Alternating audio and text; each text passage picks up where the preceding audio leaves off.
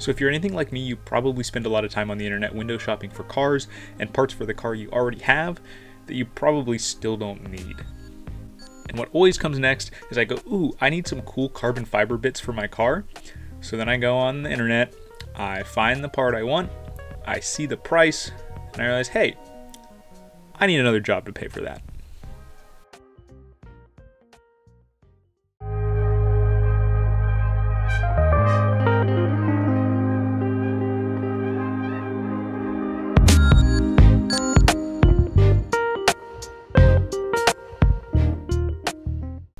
Well, the good news is there might be a better way. And by better, I mean worse in almost every way, but at least it's cheaper, as long as you consider your time worthless, which begs the question why I'm doing this again. But hey, back on track. The goal of this video is to be a candid response to the question, can I make forged carbon fiber parts at home? Paul from Easy Composites has a great video on the subject that I'd highly recommend watching after this to learn a bit more, but let's jump right in.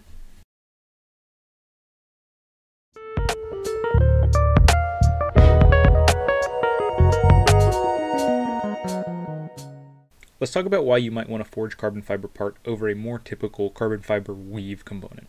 At face value, it's less strong than woven carbon fiber and arguably less aesthetically pleasing, but just because it isn't as strong doesn't mean it isn't still a strong material that can produce lightweight and functional parts. If done correctly, the main benefit of forged carbon fiber is that the strength of the part is more or less uniform. An example I like to use for this is a piece of paper. Woven carbon fiber would be your regular flat piece of paper. It's a great 2D part. It's strong when you try and pull on it lengthwise, but it can bend and tear pretty easily because it's a thin 2D part. However, if we crumple that paper up and we were to suspend it in epoxy, we now have a part that has uniform strength in all directions and we can make more 3D parts with it.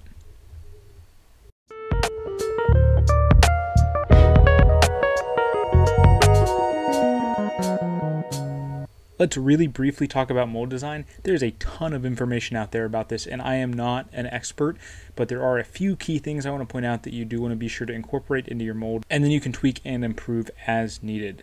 So, the first important one here is this extended wall, and you can see that both on the top and the bottom, where I have the positive of that and that's going to give us a little bit of extra room to compress the material and allow the material to overflow just a little bit on the bottom here and then be compressed into that mold half because that extends a little bit further than the part itself. The second thing you want to pay attention to are draft angles. These are angled walls that allow you to remove the part more easily. Now my part itself didn't really need any because it's cylindrical like that. These walls around here are already angled, but these here are all angled and you want to shoot for 2 to 3 degrees on this kind of mold. The last thing you really want to pay attention to and add a few of these in are release features or ejectors. So on this one here, I only added one. I added this little edge here that allows you to get a tool in there more easily without damaging the mold and pry things apart. I should have added more. And one other thing you could add is a threaded hole in the bottom here. And then you could thread a screw into that before you cast it and then when it's done you can tighten that screw and pop the part out really easily and then you'll have just a little bit of post-processing work to do to get rid of any marks that that leaves behind.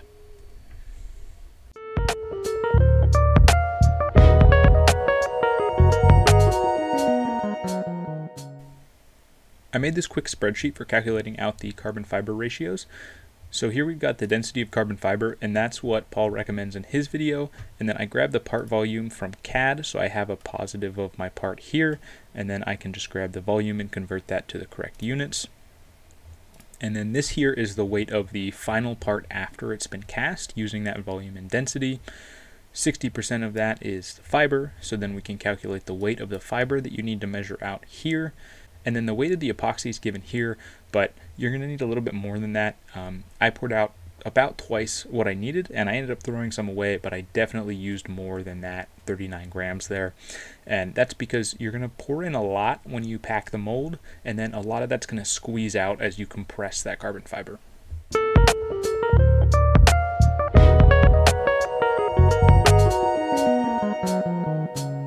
Next thing I'm going to do to prep this mold is using this mold release wax. And I'm just going to give this a thin coat on the inside of the mold. It's going to do two things. One, it's going to let us remove the part pretty easily. And then two, it's going to coat the inside and smooth out some of those ridges we get from 3D printing so that hopefully we get a smooth finish on the top.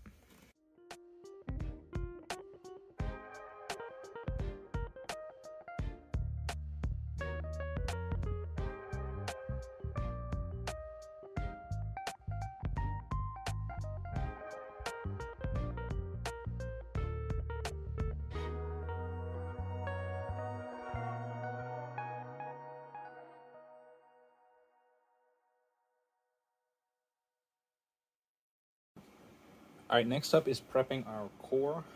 So that is this piece here. So this is what interfaces with the shift lever. And then this up here, we have this little, uh, just a shift pattern.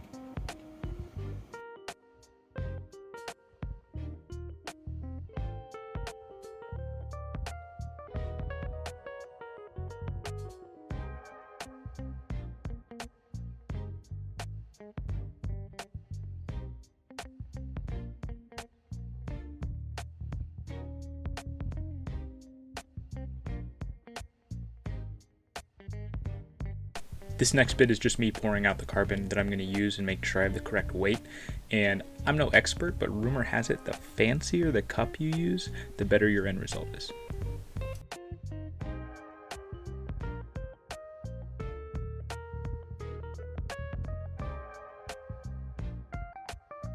Once I've got the carbon weighed out, I can move on to the resin. And the one quirk I found with this kit, which I'll have linked in the description, is that it was labeled as a 2 to 1 ratio epoxy resin, but it didn't say whether that ratio was by weight or by volume, which was a little odd considering some of the other epoxy resins I've used that do specify that and often have different ratios if you're doing it by weight or by volume. Luckily, it is labeled on the containers what the weight of each container is, and so I could figure it out by the labeled weight, but I struggled with that for a little bit. That's the only problem I've had with this kit though. Other than that, I've been happy with it.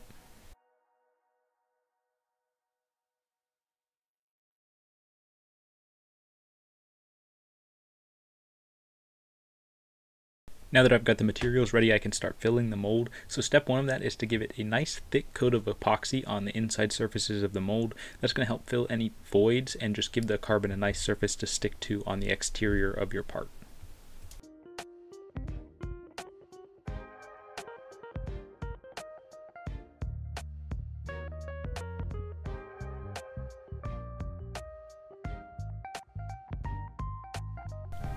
Once everything is ready, you can finally start filling the mold, and this part here was by far the hardest and the messiest.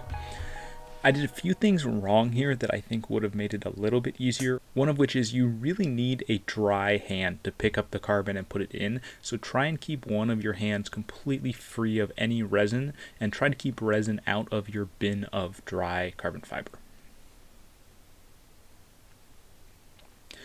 The other thing that I think would have helped was trying to keep carbon out of the resin cup. So keeping the carbon and resin as separate as possible really would have been helpful. Otherwise, it's just a mess and you're trying to get carbon in and it's already covered in resin before you can even place it in your mold. To fill the mold, you're just going to sprinkle some dry carbon in thin layers, and then you're going to kind of dab that with the paintbrush and coat it with epoxy. And then you're just going to keep doing that layer by layer until the mold is full. It's going to seem like you have a lot more carbon than you can fit in there, but I promise it will all fit. You have to pack it in, and it's going to be kind of a heaping pile, which is why we added that extra little bit of sidewall on the mold. So then once you've got all the resin in there, then you can move it over to your vise or put it in your clamp so that we can compress that and get the real forged carbon, squeeze all that extra resin out of there. And the last step is to go ahead and clamp our mold and give it that compression that's going to squeeze all of the resin out. I just used a small bench vise for this. Um, I designed those holes in for half inch bolts and then didn't use them and kind of regret that because I actually ended up putting a bolt through one of the holes to help squeeze it shut and it was a lot easier than trying to use the vise and these C-clamps. I don't have it on film, but I actually snapped one of these C-clamps in half and how that broke before my mold did, I have no idea but the bolts would have been a much easier solution.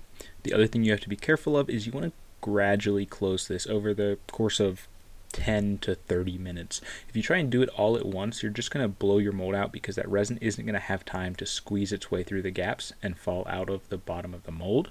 So you want to make sure that you do this gradually and give it a little bit of time to close fully.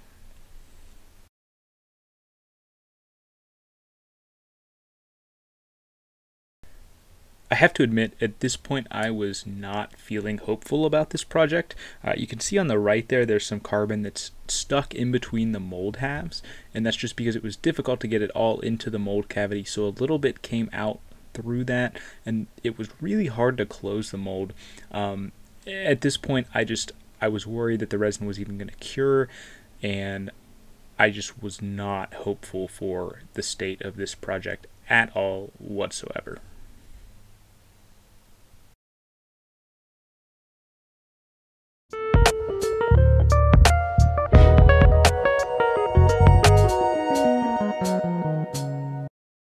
Okay, so the first step is getting the part out of the mold. You can see I actually got the bottom half off pretty easy, other than I sheared off these two bolts right here, uh, but that's not really an issue. And then if we take a look at the side of the part, you can see the carbon is kind of folded over the edge of the part. And that's not because of a misaligned mold, it's actually folded over that ridge we built in. So I ended up having to take a chisel and chisel along that edge there to get the part all the way out. The one thing I do have to be really careful of is this joint right here. So I can't pry the part too hard because that core inside of there is 3D printed with the layer lines oriented this way. And so if I pry too hard, I will shear that off at the layer line where that carbon meets the aluminum and it'll just pop that piece right off.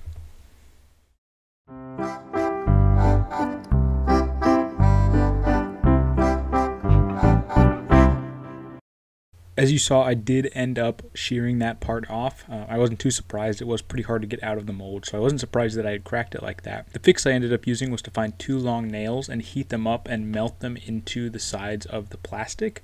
And then I trimmed them a little bit. I did the same on the top and I pushed them together and then I epoxied those pieces back together so that there are two metal rods holding it together as well as the epoxy. Once I had the handle back together and had trimmed off all of the excess carbon, which was surprisingly hard to trim by the way, it is very tough and I can see where it gets its strength from, I could start actually doing the post-processing work. So I started this with a thick coat of epoxy that's just going to fill in any gaps or holes in your base coat. You will have less of these the better the mold you use but uh, I did have a few small artifacts that I just filled with a thick coat of epoxy around the outside, and the coating was really wavy and bubbly, but I'm going to sand this down next. So I started with 150 grit, I went to 300, 600, 1000, 1500, and 2000. I am by no means an expert here, and you probably could have gone in smaller increments, but that's what I had on hand that was easy. So that's what I did as far as sanding. And then once I was done sanding it, I put a layer of plastic primer on. Uh, I would love to say that this is because I wanted the clear coat to bond better to the epoxy, but it's because I grabbed the wrong container with a clear lid on it. So uh, be careful what you pick up. And then finally, I went with a clear coat, uh, just a regular off the shelf clear coat. I did four to five coats of that, and then I gave it a while to harden before I did anything else. I did try and sand and polish this clear coat. Uh, like I said, I'm not an expert in this. I ended up actually sanding almost all of the clear coat off, and I think I just started at too low of a grit. So I just restarted the sanding process. I did it all over again, and then I clear coated it and I left it. I didn't touch it after I put the clear coat on the second time. It looked pretty good, and I didn't touch it, but you are more than welcome to polish it if you're comfortable doing so.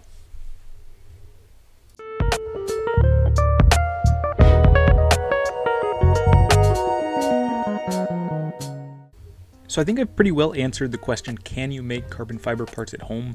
With the answer being yes. Uh, I think my part came out pretty good, especially being a more complicated part like this shift knob is with a core and a couple composite pieces that aren't carbon fiber. I'm pretty impressed with how this turned out for doing it at home with a 3D printed mold. Would I do it again is probably another question, and I don't know that that answer is yes. It's a pain to do, it's really messy, and the post processing is a lot of work that, frankly, I'm not good at or really patient enough for. So, whether you want to take this on yourself is up to you.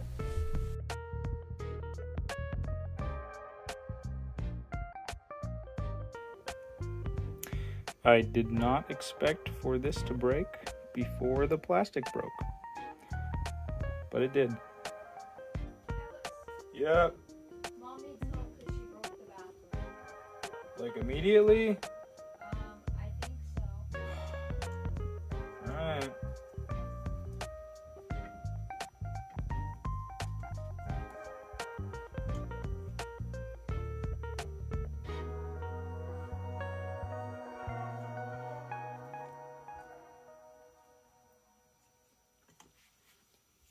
But I'm hoping that that smooths out some of these 3D printed